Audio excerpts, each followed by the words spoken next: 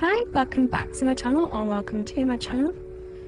This build I did a while ago again like the other ones and I tried to do a UK primary school build.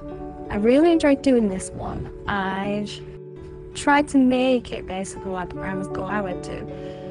Um, I did a lot of rooms. I tried to do it properly. You um, reception to year six, staff rooms, bathrooms, computer room, a hall, and I made a reception, a little entryway when you walk in with a little window to sign in, and I tried to make the classrooms as realistic to the years as possible. So reception had a lot of toys and a lot of play areas, whereas year six was tables and chairs and, you know, like the years.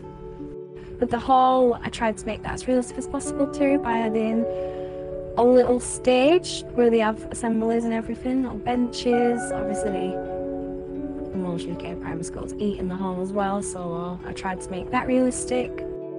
I tried to add different exits and entrances as well for the classrooms because usually, you know, like reception up to year two have a different entrance and exit than year six.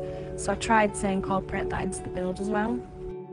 And, and I'm not the best builder, but I'm still learning. So tell me what you think. Thanks for watching.